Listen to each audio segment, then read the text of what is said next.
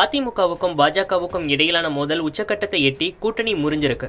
அதிமுக கூட்டணியில பாஜக இல்லைன்னு அதிரடியா அறிவிச்சிருக்காரு அதிமுகவின் முன்னாள் அமைச்சரான ஜெயக்குமார். பல்வேறு காலகட்டங்கள்ல அதிமுக பாஜக கூட்டணி முறிஞ்சிருக்கு. அதிமுக பாஜக இடையே என்ன நடந்துச்சு என்பதையும் இப்ப சுருக்கமா பார்க்கலாம். அதிமுக பொதுச் செயலாளராக இருந்த ஜெயலலிதா ஆயிரத்தி தொள்ளாயிரத்தி தொண்ணூத்தி எட்டாம் ஆண்டு நடைபெற்ற நாடாளுமன்ற தேர்தலின் போது பாஜக கட்சியோட முதல் முறையா தேசிய ஜனநாயக கூட்டணியில சேர்ந்தாரு.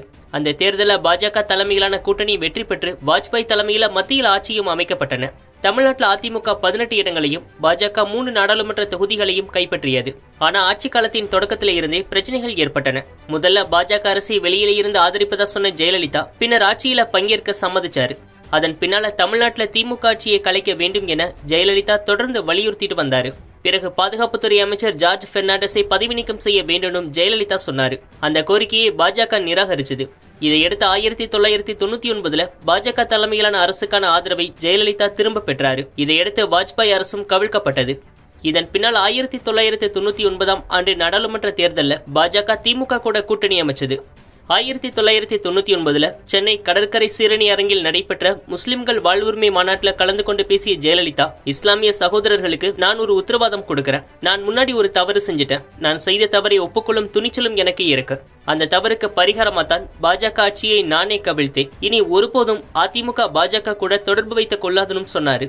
ஆனாலும் அதன் பின்னால் இரண்டாயிரத்தி நான்காம் ஆண்டு நாடாளுமன்ற தேர்தலின் போது பாஜக கூட மீண்டும் கைகோர்த்தது அதிமுக. அந்த தேர்தலில் தமிழ்நாடு புதுச்சேரியில மொத்தம் இருக்கக்கூடிய நாற்பது தொகுதிகளை சேர்த்து அதிமுக முப்பத்தி மூணு இடத்திலையும் பாஜக ஏழு இடங்களிலும் போட்டியிட்டாங்க. அந்த நாற்பது தொகுதிகளிலும் அவங்களுக்கு படுதோல்வி கிடைச்சது. இதையடுத்து அந்த கூட்டணி உறவும் உடனடியா முடிவுக்கு வந்தது. அதன் பின்னால ஜெயலலிதா மறைவு வரைக்கும் அதிமுக பாஜக கூட கூட்டணி அமைக்கவே இல்லை. ரெண்டாயிரத்தி பதினான்கு நாடாளுமன்ற தேர்தலில் அதிமுக தனித்து போட்டியிட்டது. அப்போதும் கூட ஜெயலலிதா மோடியா லேடியா என்கிற முழக்கத்தோட தேர்தல் பரப்புரை செஞ்சாரு. அந்த தேர்தலில் தமிழ்நாட்டில் முப்பத்தி ஏழு இடங்களையும் அதிமுக கைப்பற்றியது. பாஜகவுக்கு இரண்டு இடங்கள் மட்டும்தான் கிடைச்சது. ரெண்டாயிரத்தி பதினாறு சட்டமன்ற தேர்தலிலும் அதிமுக தனித்து போட்டியிட்டது. இப்படி ரெண்டாயிரத்தி நான்காம் ஆண்டு தேர்தலுக்கு பின்னால ஜெயலலிதா மறைவு வரைக்கும் பாஜக கூட அதிமுக கூட்டணி அமைக்கவே இல்லை. ஜெயலலிதா மறைவுக்கு பின்னால அதிமுக பாஜக இடையே கூட்டணி ஏற்பட்டது.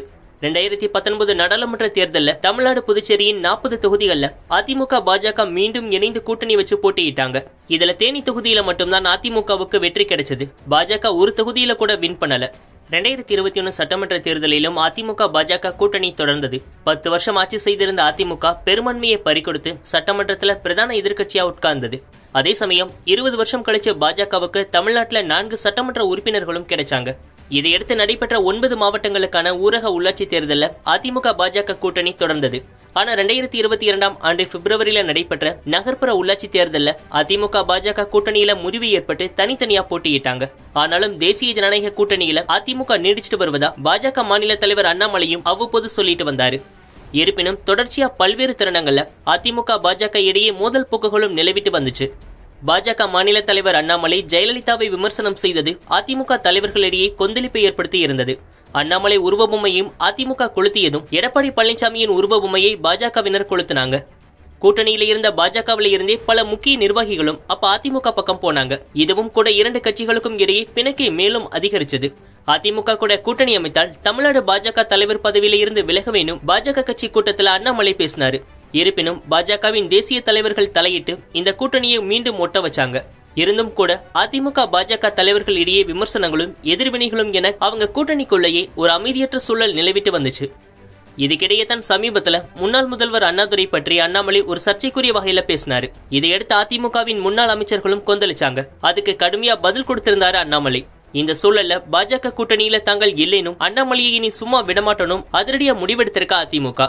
எடப்பாடி பழனிசாமி சமீபத்தில் டெல்லிக்கு போயிட்டு பாஜக மேலிட தலைவர்களை சந்திச்சு ஆலோசனை மேற்கொண்டாரு. ரெண்டாயிரத்தி இருபத்தி நான்கு லோக்சபா தேர்தலில் பாஜக இருபது சீட்களை கேட்டதாகவும் அதுக்கு எடப்பாடி பழனிசாமி தரப்பு மறுப்பு தெரிவித்து விட்டதாகவும் சொல்லப்பட்டிருக்கு. இந்த நிலையில தான் கூட்டணியில் இருந்து விலகும் முடிவை எடுத்திருக்க அதிமுக. ஆயிரத்தி தொள்ளாயிரத்தி தொண்ணூத்தி ஒன்பதுல ஆட்சியை கவிழ்த்து கூட்டணியை முறிச்சாரு ஜெயலலிதா. இப்ப சீட் பிரச்சனை பிளஸ் அண்ணாமலையின் பேச்சுக்களால அதிமுக பாஜகவின் கூட்டணி முடிவுக்கு வந்திருக்கு.